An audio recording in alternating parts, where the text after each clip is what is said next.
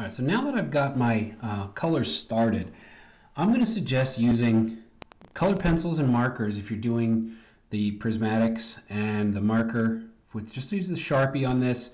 Um, I would suggest if you're going to start with colored pencil, stay with colored pencil. So now that I have my prismatic set up, I have my overlapping here with the Sharpie, I'm going to finish up with my green here.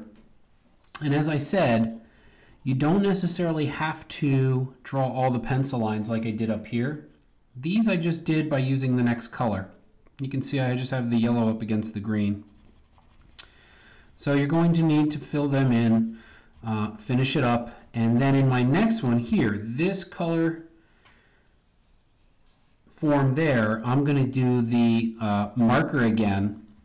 But as part of the rubric, I'm going to make sure that the line thicknesses, the distance between them, are a little bit more closely represented as they are here. You can see that these black or uh, black and whites are all relative as far as the size goes. So I'm going to make sure that I do that. This was such a small area that it was difficult to do. But now that I'm doing the black and white in a larger area, starting here, right, I got a small area here, I'm going to be able to do that a lot better. So I'll show you that here as I start in with the marker. Let me just finish up. First thing I want to do is I want to establish the bottom.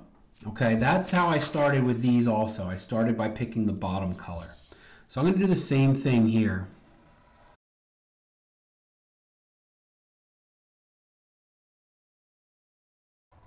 All right, so there's the bottom.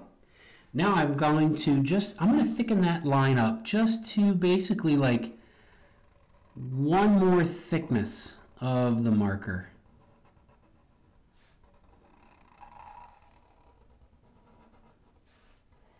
So I'm kind of just going on the double thickness of my bigger Sharpie here. I'm not going as thick as I did up here. All right, you can see I'm just kind of recreating it as a double thickness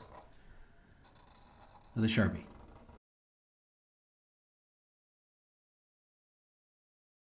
All right. So now I'm going to continue that same double thickness. I don't have to draw the interior lines. I'm just going to try to recreate the same double thickness as I go.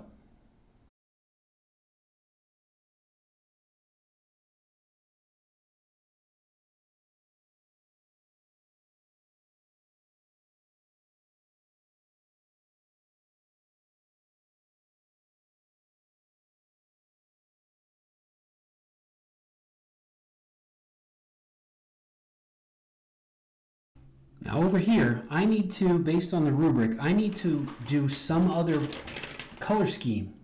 Okay, other color scheme. And again, a color scheme is something that colors will work well together. So I grabbed a few neutral colors, a couple different, uh, what do I have here? I got lime peel, and again, it depends on what colors you have. If you have a set of markers that you think you can use to have a good variety, but I'm going to stick with the colored pencils on this one because that's what this was done with. So again, I'm going to start with a single color. Maybe I'll start with this goldenrod color because it contrasts with the green. It's not a similar it's not similar to the green. All right, let me take my scrap paper out from underneath. And now I'm starting in on that third option for the color scheme. Right, I have prismatics, I have black and white, and now I'm doing the third color. So in this one, again, I can just come in and I can put in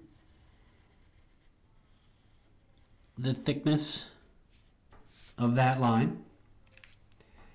Now up against that I can come in, and this is what I was saying about not necessarily having to draw all of the interior lines. I can just draw them with the next color.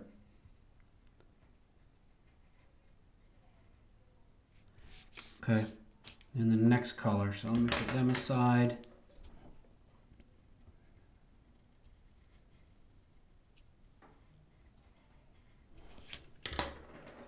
And it doesn't look like I'm going to get all five, but I'm going to keep these five out. So I know what colors are going to go where. All right, so I'm starting with my goldenrod because I'm going to have to use these colors again. Maybe I use them again down here maybe, I can't use them here because this is a singular form, color form, right? You can see how it kind of comes down. So I would probably have to use the prismatic color scheme again here. But then I have two more spaces down the bottom that I could use either the black and white or this other color scheme, color pencils that I have. So I'm just going to finish this up and then obviously I would make those decisions later based on what I decide to do with the rest of the space. But again, what you do above helps to dictate what you're going to do below.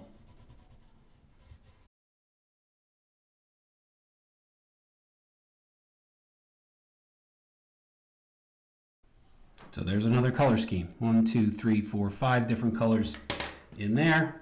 And now I'll continue with, in this space, my prismatic color scheme.